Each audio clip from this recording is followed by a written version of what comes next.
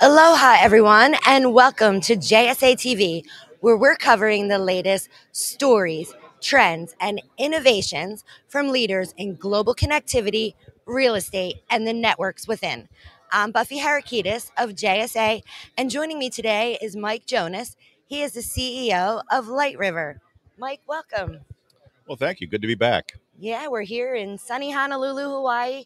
No place better to be. To, Yeah, telecom's a hard job. Yeah, no place better to be to talk about network efficiency uh, and innovation. Obviously, LightRiver is a leader, a data center leader here in the ecosystem, reimagining the future of network efficiency and innovation.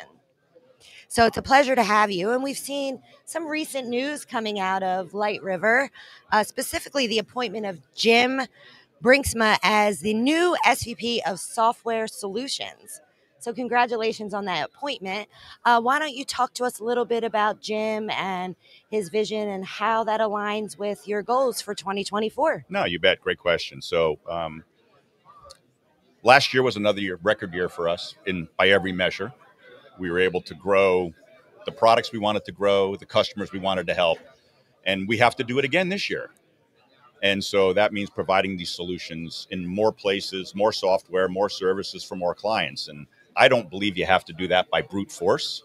In the age of automation and AI, you can do it through intelligence and tools. And Jim believes that too. And so you know, we will repeat the records we set last year.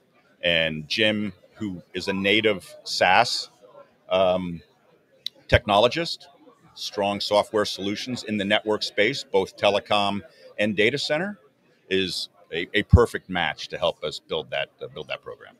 Well, congratulations, Jim. If you're watching, uh, we're excited to hear some more stories and more growth coming out of LightRiver uh, with you leading the software innovation team. And when it comes to partnerships, which is also a critical a critical part of growth in every organization. Why don't you tell us a little bit more about some of these collaborations that you've been building with OpenZR, uh, Douglas Fastnet? Give us some details there, Mike. Well, uh, we're in technology and telecom, and the only thing we know about technology is it's going to change. One of the changes we've been tracking for a good long time is the move to open networking, disaggregated networking, and our work with people like the OIF and like the XR Forum and others is that we believe that the metro network architectures and the campus metro uh, architectures are going to utilize these kinds of open optics in these kinds of open routers, in these kinds of open optical platforms. And so we've been spending the last several years investing in that know how, both on the design side, the deploy side, as well as the automation side, so that we're ahead of the curve there and we can make sure our customers do not get caught behind the curve. Yeah, I mean, always staying ahead of the curve, definitely for LightRiver year after year. So, so happy to hear about some of these partnerships that you're going to continue to grow uh, to help influence network efficiency and innovation for sure.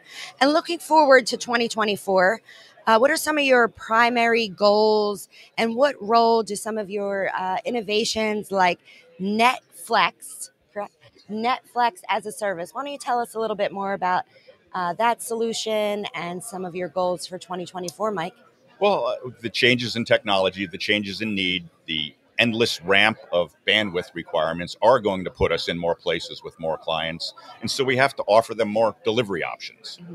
And these uh, netFLEX as a service, uh, engineering as a service, just general support for the wavelength networks is a vital part of how we can help them to grow without growing their OPEX proportionally. So we all have to grow, we all have to make, be profitable, but we are not going to want to or be able to recruit or retain all the talent that we need.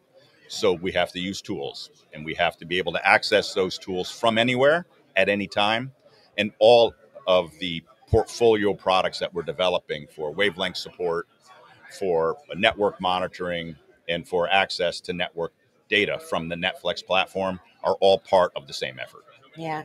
I mean, tools, automation, we're hearing so much about it here at PTC 24. And it was such a pleasure to hear uh, hear from you again about LightRiver and all that is in store for 2024. Mike, is there anything else you would like to add today? No, it's going to be another fun year. And and to your point, practical automation is a way you can improve your business, and we're here to help. Great, great. Well, thanks again. It was such a pleasure to have you, Mike. And viewers, thanks again for tuning in to another episode of JSA TV live from PTC 2024. Stay connected and happy networking.